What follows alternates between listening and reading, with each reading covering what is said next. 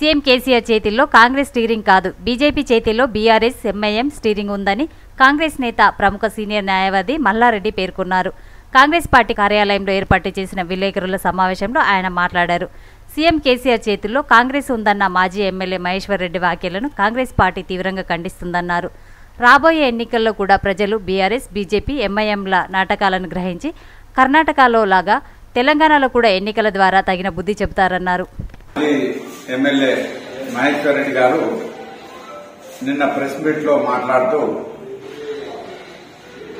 కాంగ్రెస్ పార్టీకి TRS MIM ఈ రెండు పార్టీలు కాంగ్రెస్ పార్టీ ఒకటే అని చెప్పేసి విమర్శించడం జరిగింది. మహేశ్వర్ రెడ్డి గారు మీరు ఒక విషయం గ్రహించాలి. మొన్నటి వరకు మీరు కాంగ్రెస్ పార్టీలో ఉన్నప్పుడు బీజేపీని మతతత్వ పార్టీ అని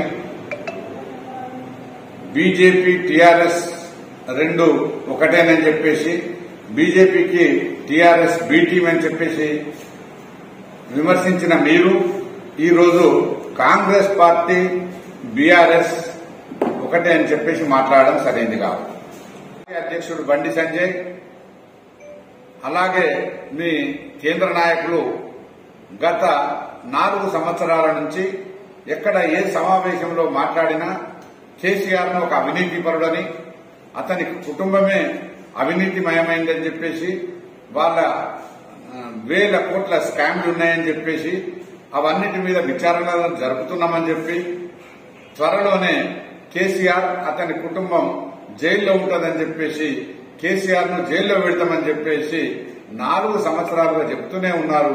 తెలంగాణ ప్రజలు అతని వాళ్ళని జైల్లో పెడతామనేటటువంటి మాటలు వింటూనే ఉన్నారు. కానీ ఇంతవరకు మాత్రం కేసీఆర్ కానీ ఆయన కుటుంబ సభ్యులు ఎవరిని మీరు జైల్లో పెట్టలేదు మద్యం స్కామ్లో కవిత పేరు క్లియర్గా ఉందని చెప్పేసి ఆమె ఇన్వాల్వ్మెంట్ ఉందని చెప్పేసి విచారణాధికారులు వెల్లడించినప్పటికీ ఇప్పటి వరకు మీరు ఇంకా కవితను జైల్లో పెట్టలేదు అంటే దీన్ని బట్టి ఈ రోజు ఎంఐఎం పార్టీ అధినేత అసదుద్దీన్ ఓవైసీ.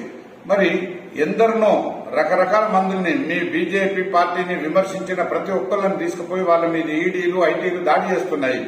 మరి ఎంఐఎం పార్టీ అధినేత అయినటువంటి అసదుద్దీన్ మీద ఎందుకు దాడి చేయడం లేదు?